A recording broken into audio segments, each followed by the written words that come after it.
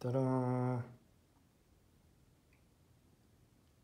One ounce gold Spider-Man 2017. This coin was released uh, along with the release of the Spider-Man movie called Homecoming.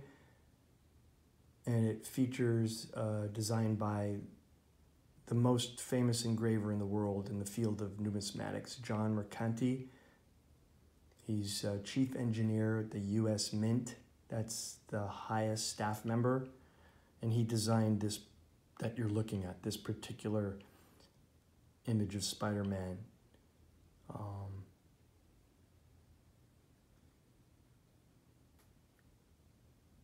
so it's a pretty cool coin. It's it's uh, slabbed and graded by NGC. Proof 70, Ultra Cameo, first day of issue, signed by Mercanti. And the COA is signed by Stan Lee. So there are very few of these in the world, 250. And uh, uh, graded at this level, uh, I, there's, uh, you know, under, under a 100, 150, I forget, but uh, it's not many. So as you know, I if you've been watching my videos, I I try to find coins that are you know really beautiful, rare, meaningful, and and and um, super low mintages. I like that. So this is a really special coin. If you